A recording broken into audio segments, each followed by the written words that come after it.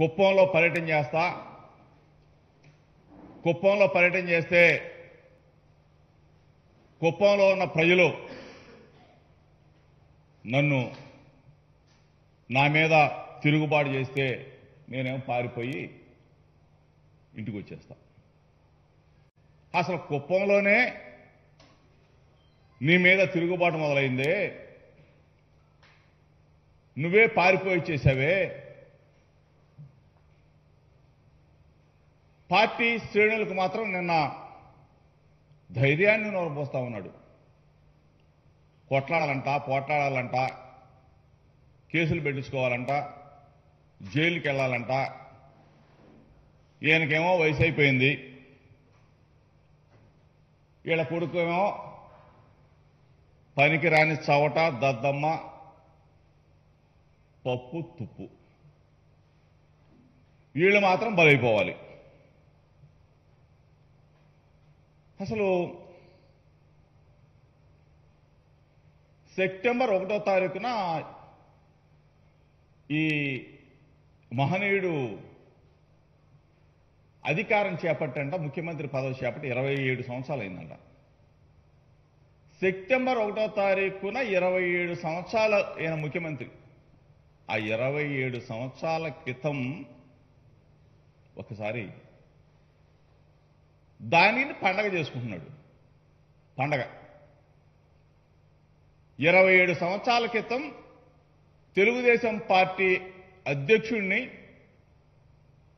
ఆనాటి ముఖ్యమంత్రి నందమూరి తారక రామారావుని వెన్నుపోటు పొడిచి ఆ పార్టీ లాక్కొని ముఖ్యమంత్రి పీటనెక్కి పండగ చేసుకుంటూ మళ్ళీ ఎన్టీ రామారావు గురించి చెప్పే కార్యక్రమం. ఎంత సిగ్గుగా లజ్జగా. ఒక నికృష్టుడు ఒక దుర్మార్గుడు ఒక దుష్టుడు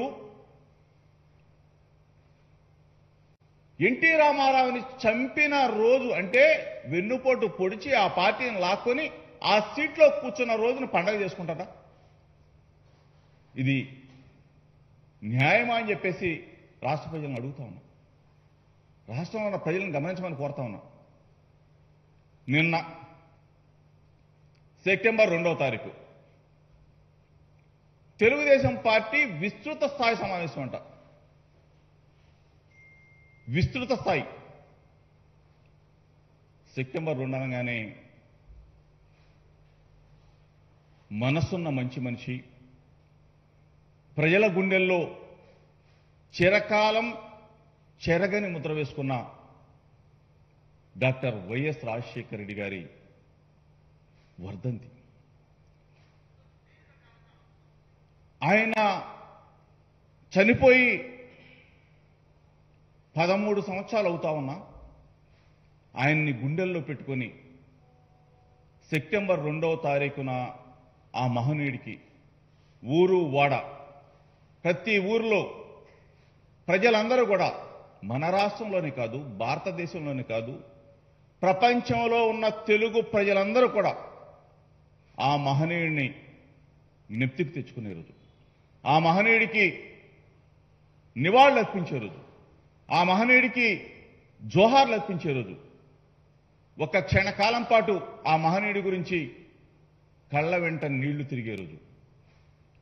ఐదు సంవత్సరాల మూడు నెలల కాలమే ముఖ్యమంత్రిగా పరిపాలన చేసిన డెబ్బై ఐదు సంవత్సరాల స్వతంత్ర భారతదేశ చరిత్రలో ఏ రాష్ట్రంలో ఏ ముఖ్యమంత్రి కూడా చేయనటువంటి మహోన్నత కార్యక్రమాలు చేసి ప్రజల నుంచి దూరమైన ఆ మహనీయుడిని జ్ఞప్తికి తెచ్చుకునే రోజు.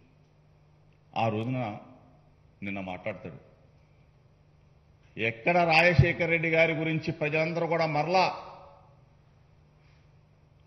ధ్యానం చేసుకుంటారో మననం చేసుకుంటారో గుర్తుకు తెచ్చుకుంటారో దాన్ని కొంచెం డైవర్ట్ చేయాలని చెప్పేసి తెగ తపన పడిపోయాడు ఈ నారా చంద్రబాబు నాయుడు.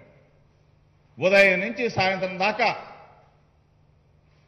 తిట్లపురాన్ని ఆయన లంకించుకున్నాడు. రెండు లక్షల కోట్ల రూపాయలంట. అవినీతి జరిగిందంట దూపిడి జరిగిందంట. నారా చంద్రబాబు నాయుడికి సవాల్ చేస్తా ఉన్నాం. నీకు దమ్ముంటే నీకు నిరూపించే సత్తా ఉంటే ఛాలెంజ్ టు నారా చంద్రబాబు నాయుడు రమ్మని అడుగుతా ఉన్నాం. రెండు లక్షల రూ రెండు లక్షల కోట్ల రూపాయలు దోపిడీ కాదు చంద్రబాబు. రెండు లక్షల కోట్ల రూపాయలు డైరెక్ట్ బెనిఫిట్ ట్రాన్స్ఫర్ డిబిటి ద్వారా. ఈ డిసెంబర్ నాటికి రెండు లక్షల కోట్ల రూపాయలు chief minister to common men CM to CM ప్రజల దగ్గరికి వెళుతున్న ఈ శుభ సందర్భం. ఇది పండుగ రోజు. రెండు లక్షల కోట్ల రూపాయలు ఎప్పుడైనా ఎక్కడైనా చూసారా? ఎప్పుడైనా విన్నావా చంద్రబాబు నాయుడు?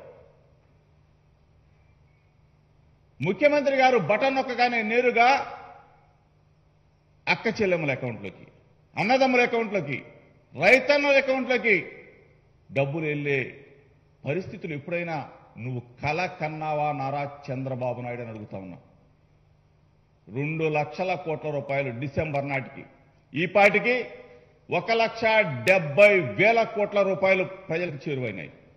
డిసెంబర్ నెల నాటికి ఆ ముప్పై వేల కోట్లు అంటే రెండు లక్షల కోట్ల రూపాయలు డీబీటీ ద్వారా ప్రజలకి నేరుగా వెళుతున్న ఈ పరిస్థితుల్లో ఇది ఒక ప్రభుత్వం మీద బురద చల్లాలి ఎవడో చెప్తాడు శాండ్ మైను వైన్. నీ ప్రభుత్వం అన్నయ్యా నువ్వు దోచుకుంది. నువ్వేం చేశావు? నీ అవినీతి మీద కోర్టులకు వెళ్ళావు స్టేలు తెచ్చుకున్నావు. స్టేలు విత్డ్రా చేసుకునే దమ్ము నారా చంద్రబాబు నాయుడుకుందా సిబిఐ ఎంక్వైరీ కోరతావా? బొక్కలోకి వెళ్ళిపోతాం. ఆ దమ్ము నీకుందా? ఛాలెంజ్ చేస్తా ఉన్నాం. ఈ రోజున ప్రజల్ని పక్కదారి పట్టించే కార్యక్రమం. ఏం మాట్లాడుతా ఉన్నావు నువ్వు? ఏం చెప్తా ఉన్నావు? చెప్పే ఒకటేమో ఆ సెప్టెంబర్ ఒకటో తారీఖుని అంతర్జాతీయ వెన్నుపోటు దినోత్సవంగా జరపాలి. వెన్నుపోటు దాడు చంద్రబాబు నాయుడు. వెన్నుపోటు దినోత్సవంగా జరపాలి. అంతర్జాతీయంగా కూడా ఈయనకి చాలా పెద్ద పేరు. ఇటువంటి వ్యక్తి మళ్ళా నిన్న మాట్లాడతాడు. రాజశేఖర్ రెడ్డి గారు మహనీయుడయ్యా దేవుడయ్యా ఆయన గురించి నువ్వు డైవర్ట్ చేయాలని చెప్పేసి నువ్వు పథకం ప్రకారం విస్తృత స్థాయి సమావేశం పెట్టావే. గుండెల్లో ఉన్నాడు గూడు కట్టుకొని ఉన్నాడు. నువ్వు కాదు కదా నీ బాబు కాదు కదా నీ జేయం వచ్చిన రాజశేఖర్ రెడ్డి గారిని ప్రజల గుండెల్లో నుంచి మరల్చలేవు చంద్రబాబు నాయుడు. రాజశేఖర్ రెడ్డి గారయ్యా ఆ మహనీయుడి పేరు చెప్తే ప్రజలు ఆరోగ్యశ్రీ ఉచిత విద్య one zero eight one not four పేదలకు ఇల్లు కట్టించాడు. ప్రతి గడపలో సంక్షేమాన్ని అభివృద్ధిని నిలిపిన ఆ మహనీయుడు ఆ దేవుడు. ఎప్పుడైనా కానీ నీ పద్నాలుగు సంవత్సరాల ముఖ్యమంత్రిగా చేశావు. ఒక్క పథకం చెప్పబోయా చంద్రబాబు నాయుడు అంటే చెప్పే పరిస్థితులు లేవే. నువ్వు కూడా రాజశేఖర రెడ్డి గారిని మరల్చాలని చూస్తావు. జగన్మోహన్ రెడ్డి గారి పరిపాలన మూడు సంవత్సరాల పరిపాలనలో ముప్పై పథకాలను చేరువు చేశాం. ప్రజల దగ్గరికి వెళ్ళినాయి. నువ్వు ఒక్క పథకం చెప్పగలవా? చెప్పలేవే. అవినీతి అని ఒక ముద్ర వేయాలనే ఆలోచన. ఒక పుస్తకాలు రాయటం ఒక పేపర్లు పెట్టడం. దమ్ము లేదు. కలేజా లేదు తెలుగుదేశం పార్టీ చచ్చిపోతే ఆ చచ్చిపోయిన తెలుగుదేశం పార్టీని పాడిగట్టి వల్లకాటికి తీసుకెళ్ళే క్రమంలో దింపుడు కళ్ళు దింపుడు కళ్ళెం ఆశ అనేది ఉంటుంది. అక్కడ పెట్టి బాబు చంద్రబాబు లేగు బాబులే బాబులే తెలుగుదేశం పార్టీలే అని అరిసినట్టుంది. చచ్చిపోయారా తెలుగుదేశం పార్టీ వల్లకాటికి వెళ్ళిపోతా ఉంది. దాన్ని మోకులు పెట్టి బుల్డోజర్లు పెట్టి జేసీబీలు పెట్టి లేపాలి లేపాలి అని చెప్పేసి నీ పచ్చ పత్రికలు నీ పచ్చ ఛానళ్ళు ఎంత తాపత్రయపడుతున్నారా? వాళ్ళు బుల్డోజర్లు పెట్టినా మోకులు పెట్టినా తాళ్ళు కట్టి లాగినా అసలు నిన్ను ప్రజలు విశ్వాసంలోకి తీసుకుంటారా? విశ్వసిస్తారా? నీ గురించి తెలియదా ప్రజలకి?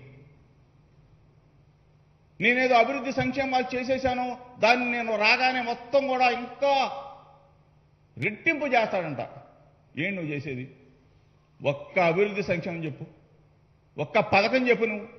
పద్నాలుగు సంవత్సరాల కాలంలో నారా చంద్రబాబు నాయుడు నేను ఈ పథకం పెట్టాను ప్రజలకు చేరువైందని చెప్పి చెప్పే సత్తా దమ్ము ఉందని చెప్పి అడుగుతాను లేదు కదా?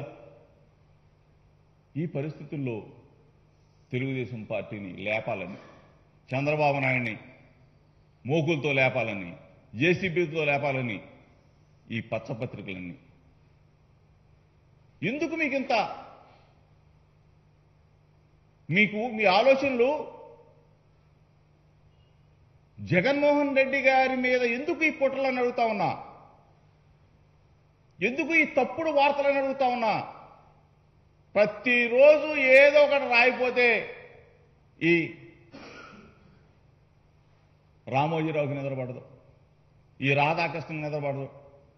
ఏదో ఒకటి దూరిపోతే ఈ టీవీ పై నాయుడికి నిద్ర పట్టదు ఇంత దుర్మార్గులే మీరు. ఏం జరుగుతుందా ఇక్కడ? ప్రజా పరిపాలన జరుగుతూ ఉంది ఎప్పుడు ఏనాడు చూడనటువంటి పరిపాలన ఆంధ్రప్రదేశ్ రాష్ట్రంలో ప్రజల దగ్గరికి వెళ్తా ఉంది. ప్రజల ముంగిటికి వెళ్తా ఉంది.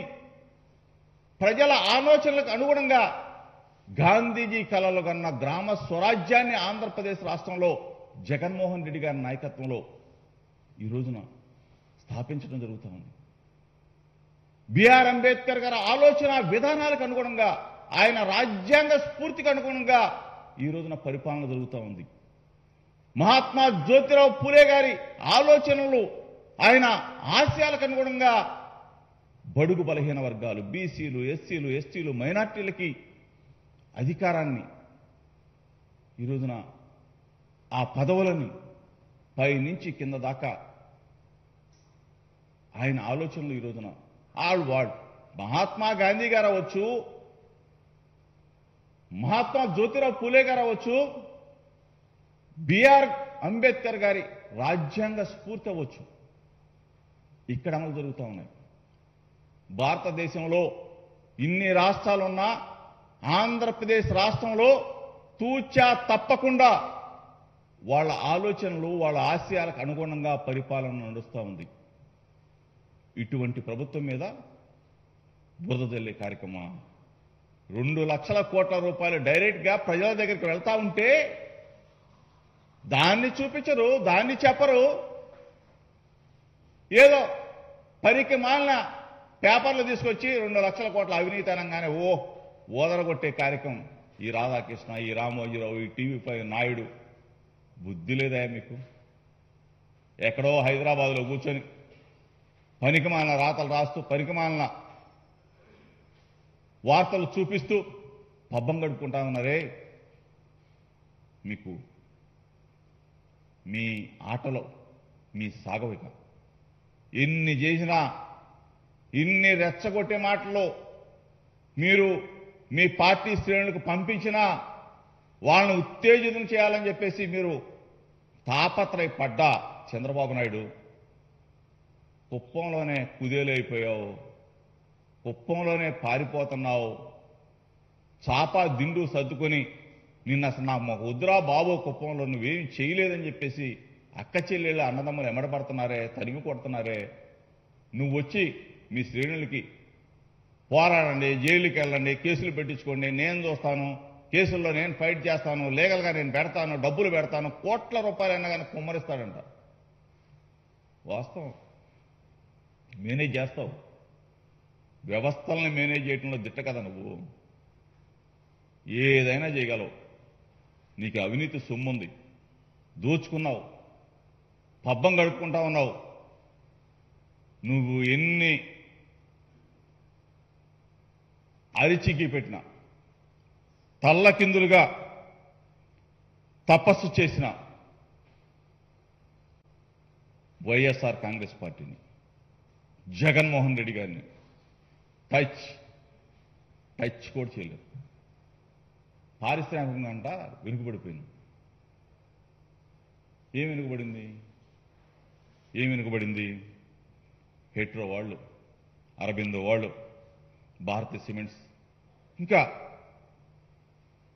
మెడికల్ సెజ్ కూడా పెద్ద పారిశ్రామికంగా ఆంధ్రప్రదేశ్ రాష్ట్రంలో పెట్టుబడులు పెట్టడానికి ముందుకు వస్తూ ఉన్నారు.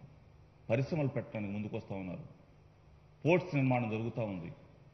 పెద్ద ఎత్తున అభివృద్ధి అభివృద్ధి సంక్షేమం రెండు కూడా బ్రహ్మాండంగా నడుస్తున్న ఈ పరిస్థితుల్లో. వాళ్ళందరినీ చూసి కడుపు మంట. వాళ్ళు రాకూడదు. వాళ్ళు ఇక్కడ పెట్టకూడదు. నువ్వెన్ని అరిచికి పెట్టిన ఈ వాళ్ళ కాటికి నిన్ను మోసుకెళ్ళే క్రమంలో తెలుగుదేశం పార్టీ వెంటిలేటర్ కాదు మొత్తం అయిపోయింది. తిట్టిన తిట్టు తిట్టకుండా నిన్న తిట్టే కార్యక్రమం ఆడెవడో నాలుగు మాటలు రాసుకొచ్చాడు.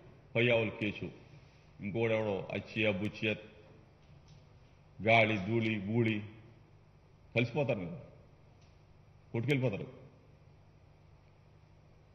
ప్రజల ఆలోచనలు ప్రజల ఆకాంక్షలు నెరవేరుస్తున్న ప్రభుత్వం జగన్మోహన్ రెడ్డి గారి ప్రభుత్వం.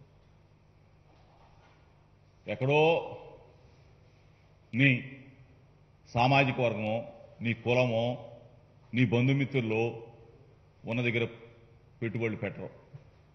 కట్టడాలు కట్టరు. ఒక చోటే నాలుగైదు లక్షల కోట్ల రూపాయలు కుమ్మరించరు. ప్రజలందరికీ చేరుకోవాలి ప్రజాధనం ప్రజలకు వెళ్ళాలి నీ కులం దగ్గరికి రాదు. జగన్మోహన్ రెడ్డి గారు చేస్తుంది అదే. ఈ రోజున ప్రతి గడపలో అభివృద్ధి కావాలి. ప్రతి గడపలో సంక్షేమం కావాలి. ప్రతి గడపలో ఉన్న పిల్లలు చదువుకోవాలి. ప్రతి గడపలో ఉన్న అక్కా చెల్లి సంతోషంగా ఉండాలి. ప్రతి వర్గం బీసీలు ఎస్సీలు ఎస్టీలు మైనార్టీలు ఇది మా ప్రభుత్వం మా జగన్మోహన్ రెడ్డి గారి ప్రభుత్వం అని చెప్పి ఎందుకు చెప్పుకుంటా ఉన్నారు? వాళ్ళకి సంక్షేమ ఫలాలు చేరువవుతా ఉన్నాయి. అన్ని వర్గాలకి అభివృద్ధి అంటే ఎట్లా ఉంటుంది? సంక్షేమం ఎట్లా ఎట్లా ఉంటుంది? పదవులు అంటే ఎట్లా ఉంటాయి? వార్డు నంబర్ దగ్గర నుంచి రాజ్యసభ స్థానాల వరకు మంత్రులు మంత్రులు ఇవన్నీ ఎట్లా ఉంటాయని చెప్పేసి రుచి చూపించిన ప్రభుత్వం బాధ్యత గల ప్రభుత్వం అన్ని వర్గాలతో మిళితమైన ప్రభుత్వం అన్ని కులాలతో మిళితమైన ప్రభుత్వం. మంత్రివర్గ కూర్పు ఏదైనా సరే ఇంత పెద్ద ఎత్తున జరుగుతూ ఉంటే కుట్రలు చేయాలి కుతంత్రాలు మన్నాలి దుష్ట చతుష్టయం లాగా మేము నిలబడతామంటే కూల్చేస్తారు ప్రజలు కుప్ప కూల్చేస్తారు. దుస్తుల్ని ఏం చేస్తారు? తరిమి తరిమి కొడతారు. అందుకని మిమ్మల్ని కూడా తరిమి తరిమి కొడతా ఉన్నారు. ఇది చంద్రబాబుకి ఇందాక చెప్పాను ఇప్పుడు చెప్తా ఉన్నాను. రెండు లక్షల కోట్లని రాసుకొచ్చావు కదా రా.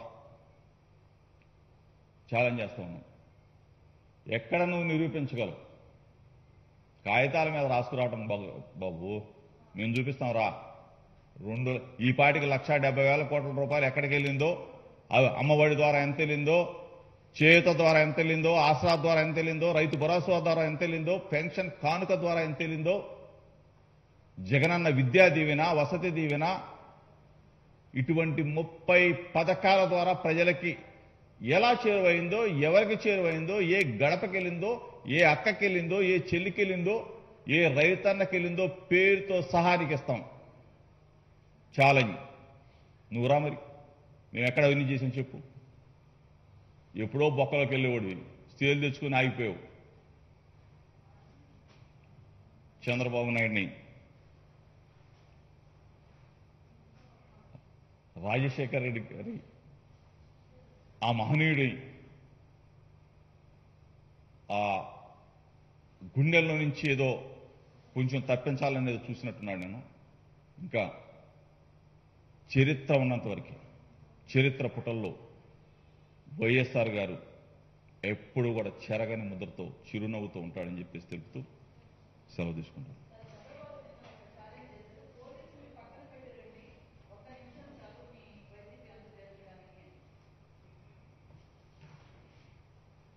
అసలు మాకు పోలీసులతో మాకు పనండి నూట డెబ్బై ఐదు నియోజకవర్గాల్లో ప్రతి గ్రామంలో గడప గడపకి వెళ్తా ఉన్నాం. ప్రతి చోటకి వెళ్తున్నాం. అక్క దగ్గరికి అమ్మ దగ్గరికి అందరి దగ్గరికి ఆ గడపకి వెళ్ళి మేము పలకరిస్తా ఉన్నాం.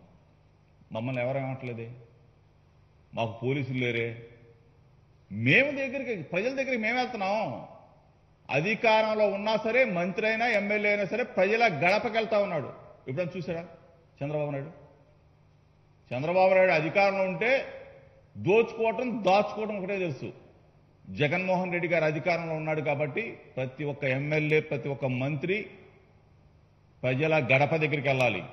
సంక్షేమ అభివృద్ధి కార్యక్రమాలు ప్రతి గడపకి చేరినాయా లేదా? లేకపోతే ఎందుకు చేరలేదు? వెను వెంటనే అక్కడ ఆ సమస్యకి పరిష్కారం చూపించే విధంగా ఈ గడప గడప కార్యక్రమం. ప్రతి పల్లె కూడా అభివృద్ధి చెందాలన్నదే చంద్రబాబు నాయుడు లాగా ఆయన ప్రభుత్వంలో ఉన్నప్పుడు పోలీసుల్ని అధికారుల్ని అడ్డం పెట్టుకుని ఏ విధంగా పరిపాలన చేశాడో అందరికీ తెలిసిన నగన సత్యమే. పోలీసులతో ఏ విధంగా క్రూరంగా రాక్షసత్వంగా మా వైఎస్ఆర్ పార్టీ శ్రేణుల మీద దాడి చేయించాడో అందరూ చూశారు. కాబట్టే ఈరోజు ఇరవై ఒక్క స్థానాలకి చంద్రబాబు నాయుడు పరిమితమయ్యాడు. రేపు రాబోయే రోజుల్లో నూట డెబ్బై ఐదు నియోజకవర్గాల్లో తప్పనిసరిగా నూట డెబ్బై ఐదు స్థానాలు గెలవబోతా ఉన్నాం. చంద్రబాబు నాయుడికి నూకలు చిల్లిపోయినాయి ఆంధ్రప్రదేశ్ రాష్ట్రంలో.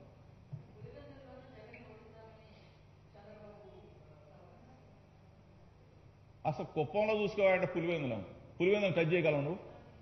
పులివెందుల నియోజకవర్గంలో టచ్ చేయగలిగే దమ్ము ఈ నారా చంద్రబాబు నాయుడుకుందా నీ కుప్పంలోనే నీకు దిక్కు లేదు నీ కొడుకున్న మంగళగిరిలో నీకు దిక్కు లేదు నువ్వు పులివెందుల గురించి ఎందుకు ఆలోచిస్తావు చంద్రబాబు నాయుడు? పులివెందులు అనే మాట టచ్ చేయలేవు. ఏదో సొల్లు మాట అయితే చెబుతాడు పులివెందులకి వెళ్తా జగన్మోహన్ రెడ్డి గారిని ఓడిస్తా. ఏంది నువ్వు? కుప్పంలోనే కుదేలైపోయావు. ఒక్క సీట్ లేదు మున్సిపల్ ఎలక్షన్లో. జడ్పీటీసీ లేరు ఎంపీపీ లేరు సర్పంచ్ లేరు. నిన్నగాక మనం వెళ్తే ప్రజలంతా కూడా తిరుగుబాటు చేశారు. నువ్వు అసలు మాకు వద్దు పో అంటున్నారు. సాపాదిని సర్దుకొని ఇక్కడ ఎక్కడ ఎత్తుకుంటున్నాడు ఏదో నియోజకవర్గం. ఎక్కడ ఎక్కడ పోటీ చేయనా చంద్రబాబు నాయుడు పని అవుట్.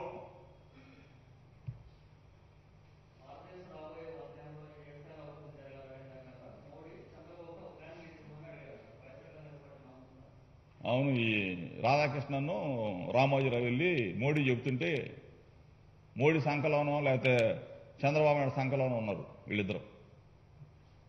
మోడీ మోడీ గారు చంద్రబాబుతో మాట్లాడుతుంటే మోడీ సంఖలో ఒకడున్నో చంద్రబాబు నాయుడు సంఖలో రామోజీరావు రాధాకృష్ణ ఉన్నారు ఈయనగాన వందేళ్ళ చరిత్రలో రాయాలి. దిక్కుమాలనాడు ఇక్కడే బాగుజీలైపోయాడు ఐదు సంవత్సరాలు చేతిలో పెడితే మొత్తం అమ్ముడిపోయాడు. ఏంది ఏం చేసేది? వందేళ్ళ భారత్ అంటే ఈయన నిర్మాణం చేస్తాంటే ఈయన ఈయన రాసి ఇచ్చేయి మోడీ గారి అమలు చేయాలంట. ఇంకెవడు లేడు మేధావి. భారతదేశంలో ఎవరు మేధావి లేడు? మోడీ గారు ఈయన ఒక్కడిని అడిగాడు ఈ మేధావిని. ఆమె ఈ మేధావిని అడిగిన దాన్ని రామోజీరావును ఈ రాధాకృష్ణ ఆయన ఒక సంఖలో ఉండి అన్నాడు ఈడు ఒక సంఖలో ఉండి అన్నాడు. ఇది కర్మ.